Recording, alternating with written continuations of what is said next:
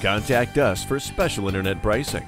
Keeler Honda is proud to introduce this 2008 Honda CRV with a 5-speed automatic transmission, 4-wheel drive, and 39,011 miles.